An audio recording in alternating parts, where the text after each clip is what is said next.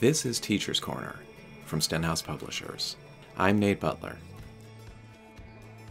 Jeff Anderson and Whitney LaRocca, authors of the Patterns of Power family of resources, sat down with us recently to answer questions that came in from the Patterns of Power Facebook community members. If you already use these resources for your grammar instruction, you might learn some helpful new tips.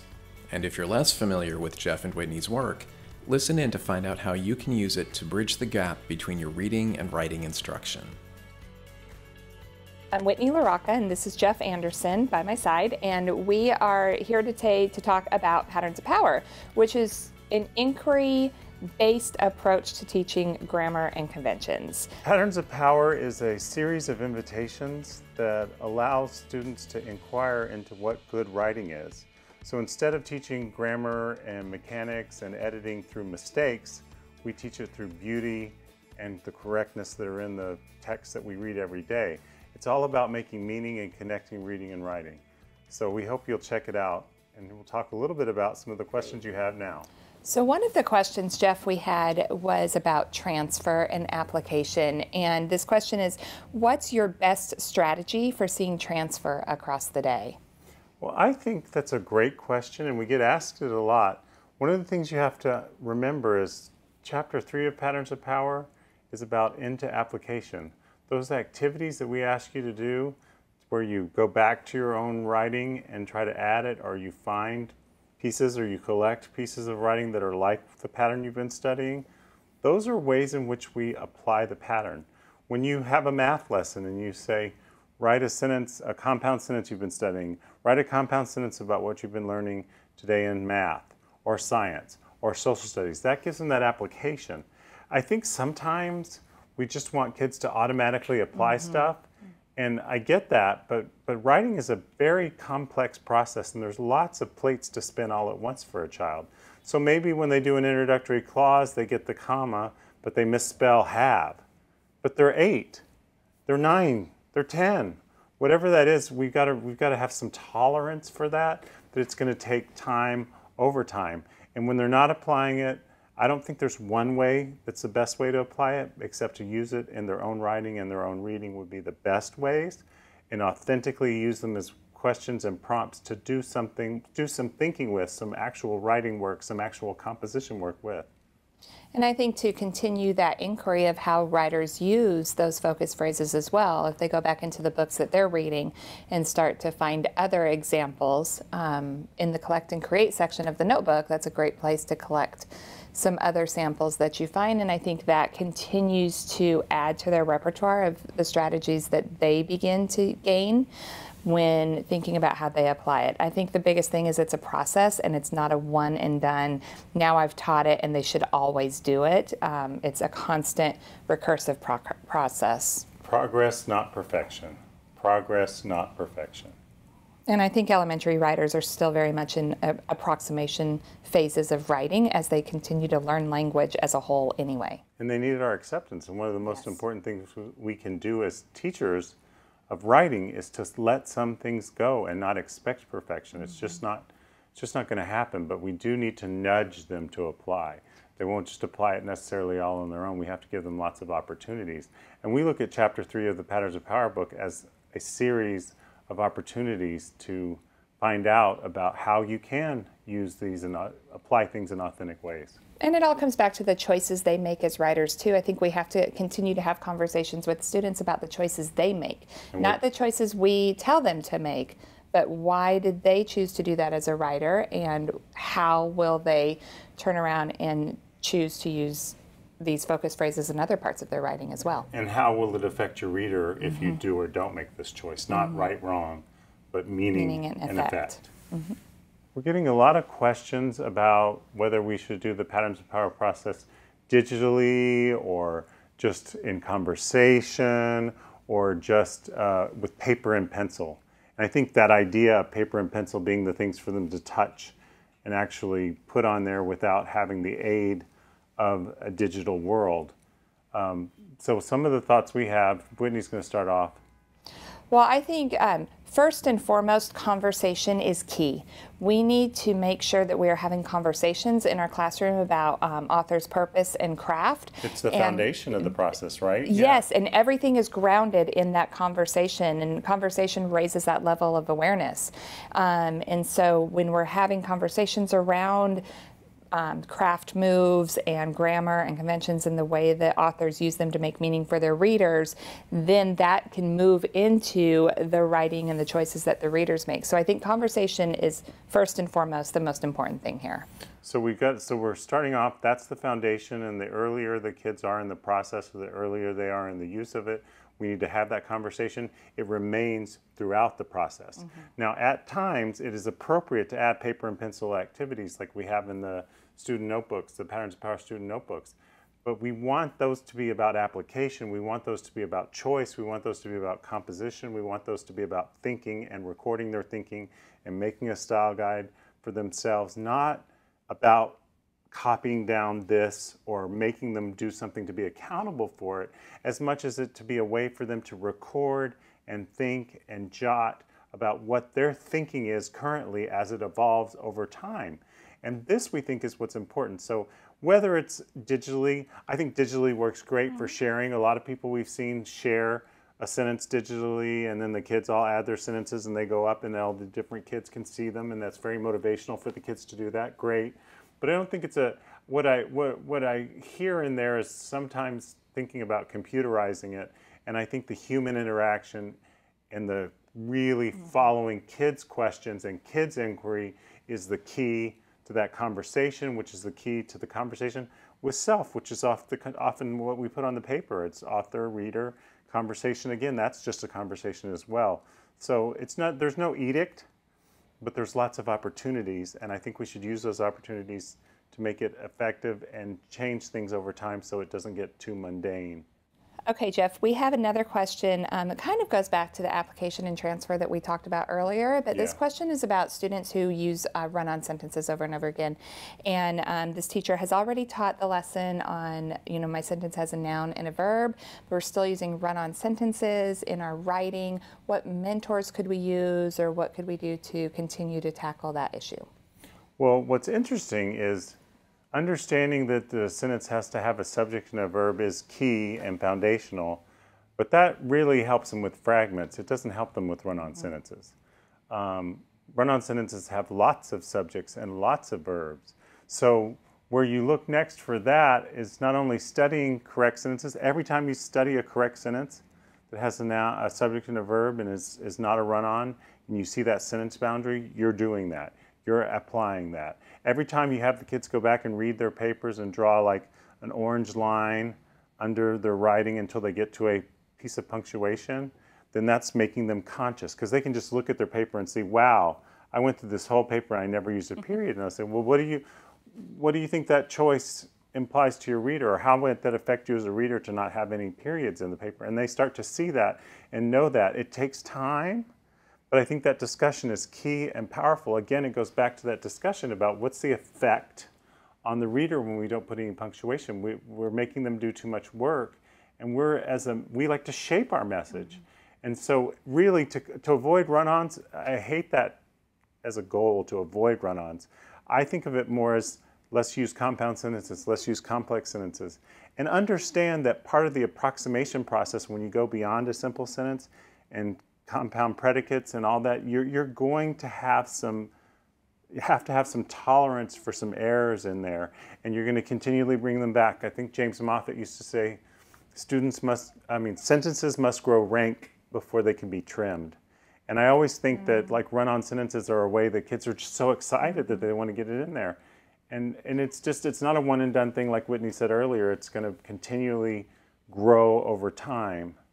Well, and I think um, the way our the brains, the little brains of our students are working is, you know, they have so much going on inside their brain that they just want to get down on paper. So they are not thinking at that moment about where they're going to put their periods because they're just trying to get all of this information, trying to um, keep their hand keeping up with their brain to get it all on paper. And, um, and then I think it's hard for them to go back then and think about where those periods go. And again, that just brings back to conversation about choices and the effect it has on the reader. And I think this is a great place also to bring in your editing conversation. And if you're using a sentence or even two sentences um, or an excerpt from a mentor text or read aloud that you're doing, and you just talk about what are the choices the writer made in this paragraph. Let's talk about that, and then during have an editing conversation about that, where you do have a couple of those with run-on sentences, and it just again that conversation around the choices the writer made. And it, and it needs to keep resurfacing. We language arts, reading, writing, grammar are process skills that have to be traced and retraced again and again and again until you grow to that place. We grow toward correctness. We don't just arrive at it. I still make mistakes, mm-hmm. but Whitney doesn't. I do. Every no, now and no, then. No, she doesn't. She doesn't. I correct your mistakes. No, oh, I'm teasing. Yeah, that's true. it's true, and there's a lot of them to correct. So, for those people using the notebook, this is a question that comes up a lot. And I know that's what happens when you put a space and you allow a space for an invitation to happen it's like, well, what do you want me to do? And I want us to think about that idea of thinking about both the collect and create box and the celebration thoughts box. Well, when you when a kid is celebrating, as we read aloud their writing, perhaps they share it in another way. Maybe I see something that my friend Whitney did that was really cool. Well, maybe I'll write that down in my celebration thoughts. Or maybe I'll come to understand something in a different way. Or maybe I'll even find a sentence in our reading that day that I'll want to put down in there that makes me think of that sentence. I may want to say something nice about myself. I'm really good at making people laugh with my writing. Whatever they can celebrate. What we're trying to do with the celebration thoughts is give them the space to jot down, record over time, reflect. and reflect their joyousness of writing and reaching an audience. And so there isn't a right or wrong way to do that. It's their book and they can add to it what they want, but we want them to add something to it. And I think that's the, I think you, what you just said, Jeff, is key. It's their book. This is, we call it a student notebook versus a student workbook because in a workbook, there's so often where that is teachers expecting all of the work to be the same in the book, right? Whereas a notebook is personal. Um, and so in a student notebook, it's their work and it's their reflections and their thoughts and their writing.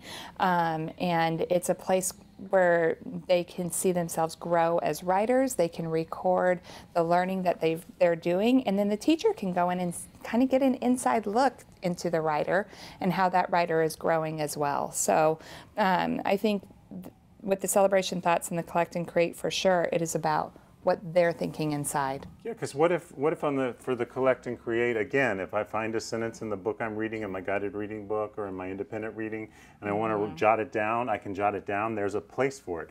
If I got inspired by one of my friends' sentences that they wrote, made me think of something that I hadn't thought of, and I want to write it there, I can write there. This is a place for me to create or collect beautiful my friends' sentences, sentences from literature, collect, um, or create something. Maybe do a free write on that just because you've got some things you want to say now because it made you think about swimming in your pool and you got so excited you wanted to write all about mm-hmm. swimming in your pool.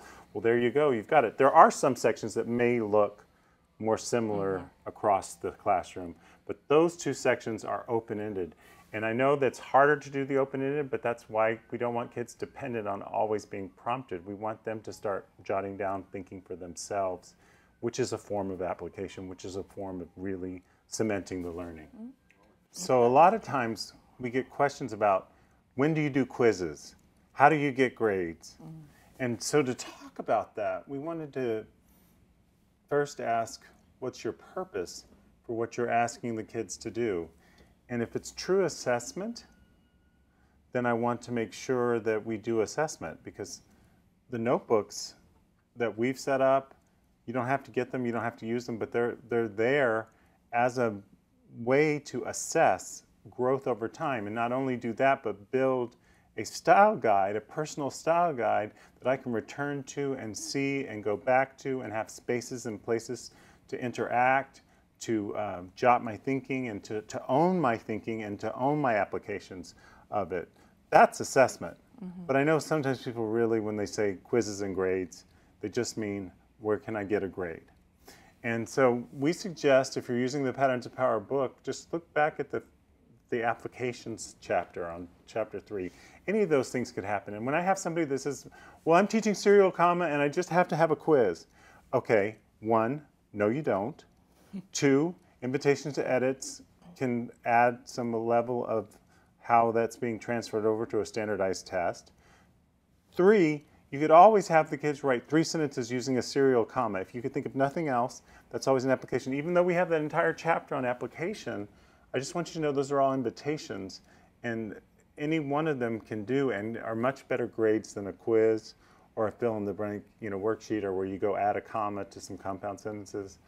Um, Well, it's, yeah, go ahead. I think grades too. I know that um, when I used to teach and I would give a grade, like a worksheet or something to get a grade, they would get a hundred on that, right? And then I would look at their writing that they were doing and it did not match the 100 that they just received for a grade. So I know that always made me really reflect on what are my grades that I'm putting in the grade book reflecting? Because what they should be reflecting is what children are doing in their actual writing. right, that's that's where the rubber hits the road. Right. And so when we give a quiz or something that doesn't have real writing on it, then Real we're not really grading um, in a reflective practice. And I think that's what grades are meant to be. Grades are really out there for parents. Um, and so, what are we telling parents out there when we're giving a grade on something that doesn't transfer over to their actual work that they're doing? That's a really great point. Another question that we get often is about the order in which we teach the lessons, or what order should I teach, or what lesson should I start with? I'm a second grade teacher, where should I begin? Um, and so we did create the Patterns of Power Plus. Um, that was grade level specific to kind of help teachers get more specifically for their grade level.